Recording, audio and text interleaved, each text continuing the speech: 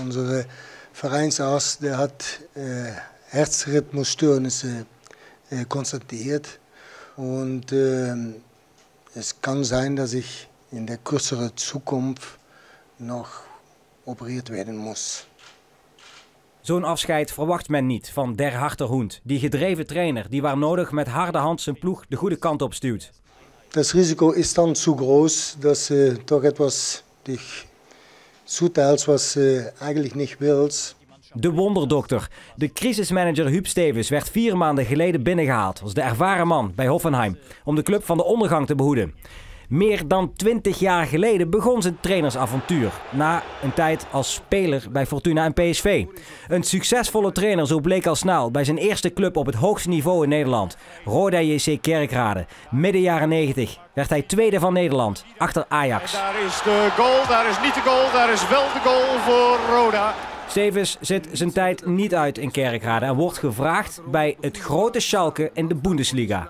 Ik zette op een gegeven moment mijn mailbox aan en ik hoorde op een gegeven moment... Assauer, hast du die mogelijkheid om auf Schalke Trainer te worden? En dat bleek zeker niet onverdienstelijk. Zijn meest succesvolle tijd als voetbaltrainer beleefde hij in de hoogste klasse van de Duitse competitie. Met Schalke won hij twee keer de beker en de UEFA Cup. Aan zijn avontuur in Schalke komt een einde. En via Hertha BSC en FC Kullen, dat is de club die hij kampioen maakte in de tweede Bundesliga, komt Stevens weer terug bij Roda. Zijn oude liefde. En ook zijn tweede termijn in Kerkrade maakt hij niet af. Wat zei, ik, wat, zei, wat zei ik tegen jou? Wat heb, wat heb ik gezegd? Wat heb ik gezegd voor de wedstrijd? Doe eens normaal, Ja? niks gezegd. Ja? Niet normaal doen man. Kom idioot.